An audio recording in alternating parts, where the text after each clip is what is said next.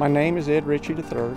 We grow spinach in uh, three towns here in Zavala County, Crystal City, Batesville, and La LaPrairie. My grandfather started this spinach production in 1924. My father and myself, along with brothers and cousins, have continued the legacy uh, for all this time. We grow what we call a uh, curly Savoy type spinach. But just recently, in the last three or four years, we've been going into uh, baby leaf production, which seems to be more in demand now.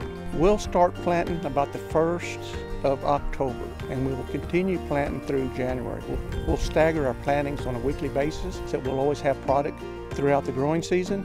It uh, was all hand harvested till about 12 years ago. Because of the labor supply, we gradually changed over into the mechanical harvest.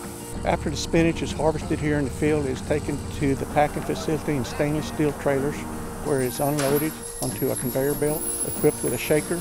Uh, we do have a couple of inspectors or graders that look at the product as it's going through the line where it is uh, received on some tables and it is placed in uh, one or two types of containers.